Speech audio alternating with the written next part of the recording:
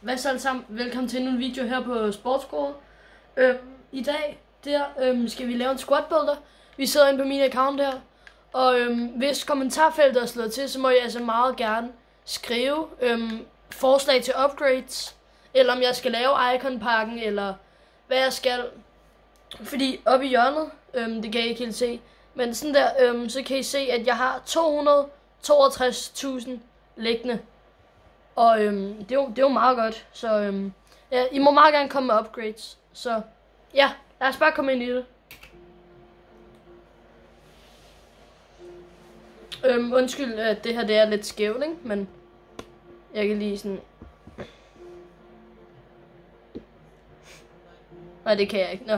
Øhm, ja, på mål, der har vi altså Areola her. Øhm, han er pakket. First Dire kan ikke handles. Han gør det fint.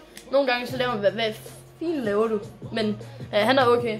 Øhm, de to centrale backs. Øhm, der har jeg Upamecano, inform. Nej, øh, normal hedder det. Og Kim Bembe. Normal også. Øhm, og her på venstre bak, der har jeg Alfonso Davis. Og så på højre bak, der har jeg også en venstre bak. Det er Mendy. Og øhm, øh, og Davis, øh, ham har jeg købt for 31.000. Jeg ved ikke, hvor meget han går for nu. Men han gør det helt fint. Han er hurtig. Øhm, og ja, det, han, gør, han gør, hvad han skal. Øh, Opamecano, han er også helt fin. Han gør også lige det, han skal. Øhm, han er egentlig helt okay. Og øhm, ja. Sådan der. Han, nu, nu blev kameraet lige lidt bedre. Men øhm, ja, han, altså han, han er fin. 4.000. Han er 100% worth. Øhm, Kim Bembe. Øhm, han, han er et bedst. Altså, der, han er et bedst. Yeah. Der er ikke så meget at sige der. Øhm, men de, han, ham har jeg pakket i en 100 pakke. Øhm, altså, han, er- han er vanvittig. Er, Øhm, det, er det godt? Er, øh, men de er gode. Ja, det er han.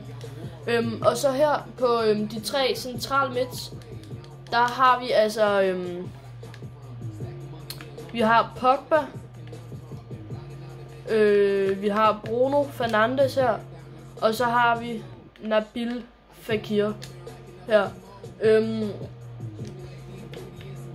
øh, vi bytter lige rundt på de der to. Bam. Øhm, de her to, eller de her tre, øhm, Bruno, han er god. Øhm, øh, han, han gør egentlig sådan det, han skal. Øhm, han er, ja, han er bare god. Øhm, Pogba, han er god. Altså, jeg, jeg bruger meget skills, så øhm, det kan jeg godt lide, at han er fem stjerner. Men han, altså, han er virkelig tung på bolden og føles virkelig langsom. Men ellers er sådan helt okay. Fekir her, øhm, han bruger jeg i angrebet indgame. Og han, altså, han, han er virkelig god faktisk. Altså, han er sådan, han er virkelig god. Øh, hans historik, den, den, den er ikke helt god, men ja. Øhm, og så har vi øhm, tre øverste her. Vi har Dembélé. Han er også pakket untradable her. Han er virkelig god. Du kan også se hans rec som kan. Den er altså... Han spiller en gang angriber, men det, det er altså også... Det er rimelig godt, vil jeg sige. Øhm, og så herude, der har vi øhm, Mané. Han er også pakket untradable her. Øhm, altså, han er også god. Også hans Rick som kant. Han spiller også engang angriber. Øhm, det, det er altså rimelig godt. Øhm, og så her, den sidste spiller på holdet. Marcus Rashford. Han, han, er- han er altså også rimelig god. Hans rec, den, sådan, den fejler altså lidt, men han, han er virkelig god. Det er han. Øhm, og ja, det her det er altså mit hold. Øhm, min bænk. Jeg har grindet for Bergwijn i dag. Det tog mig 45 minutter, og så Fellaini og Antonio. Det er nogle gode kort. Fellaini og øhm, Boateng bruger jeg til at skifte ind i stedet for Pogba og Bruno.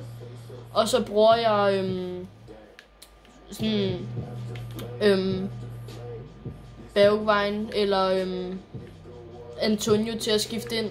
I stedet for øhm, Mané, eller hvad det hedder, Rashford, eller Fekir, eller Dembélé. En af de fire øverste.